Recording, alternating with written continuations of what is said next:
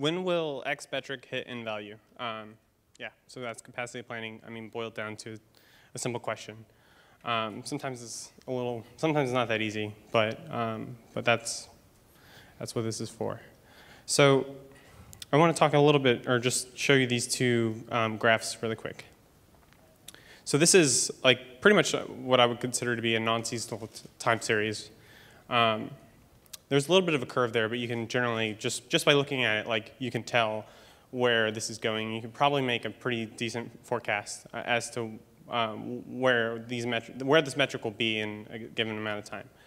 Um, seasonal time series uh, example. So this one is not as easy, and uh, it's, it's a little bit harder to actually make um, just you know with your eyeballs to make a decent um, guess as to where these these are.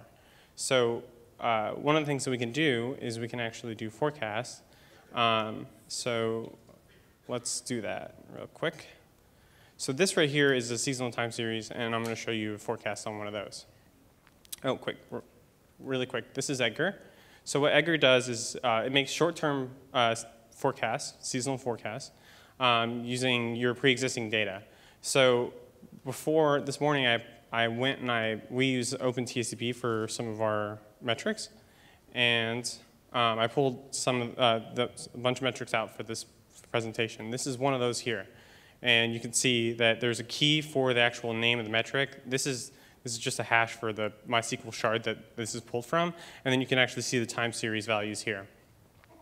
So let's do a forecast on this. This right here is disk utilization. So um, the amount of, the percentage basically um, that of time that the disk is actually in use. Uh,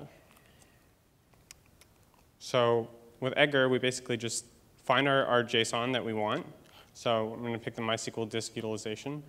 Um, we describe the actual uh, the, the data set. So this data set is actually in hours, but I'm going to downsample it by taking the maximum of each 24 points. So that'll actually give me the, the max for each day. And I'm going to um, describe a, a, seasonal frequency of seven, seven days, so it's a week. Um, and I'll do a forecast of 30 days.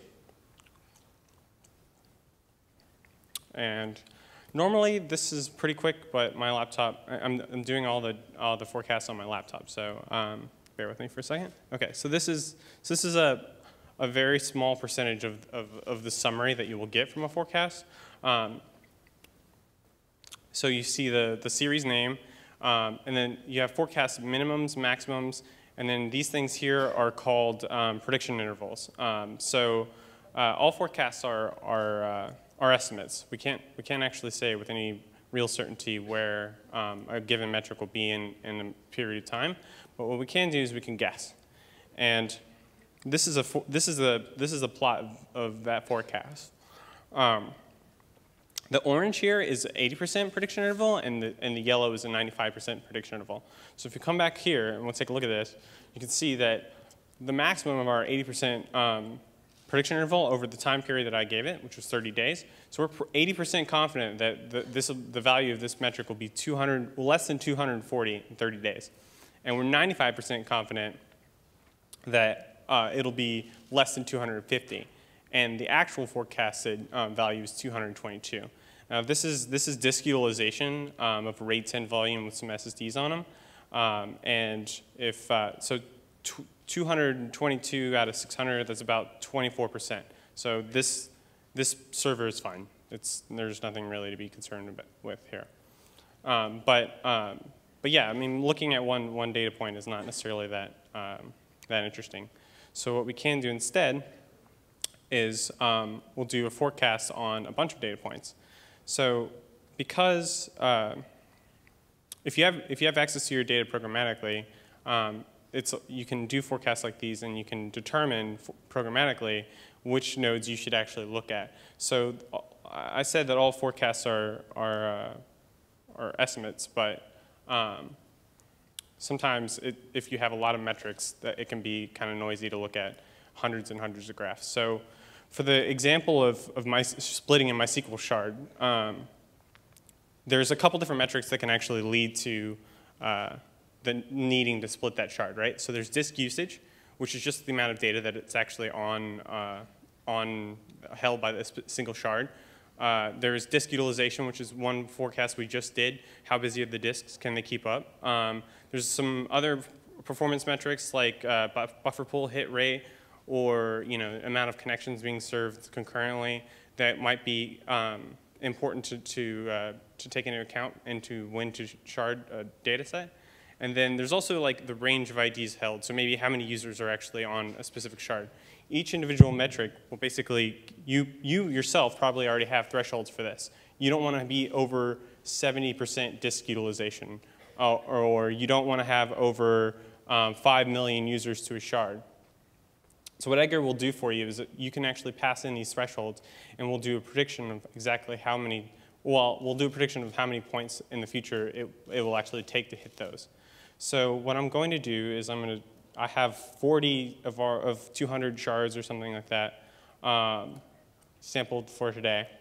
And once again, this is an hourly data set, and I'm going to downsample it by taking the maximum of each, of every, of each 24 points, making it a daily um, uh, data set.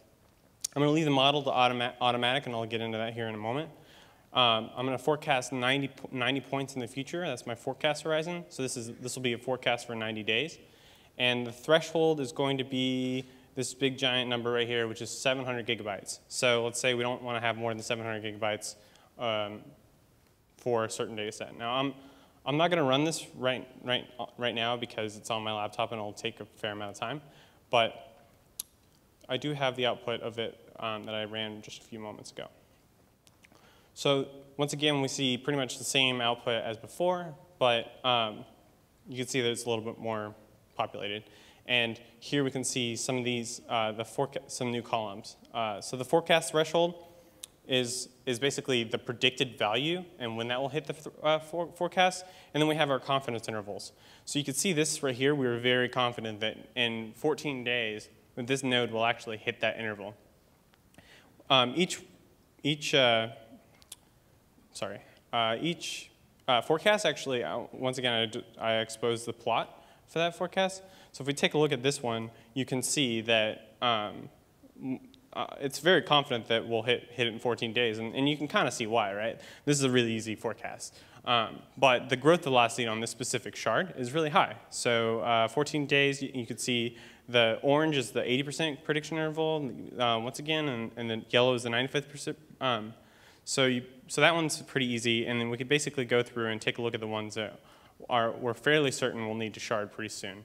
Um, and you can see that the plots change a little bit. So um, these ones were, uh, this one we're a little less sure, but it's still pretty easy, um, and so on and so on. Um, but yeah, that's all I have. Thank you very much.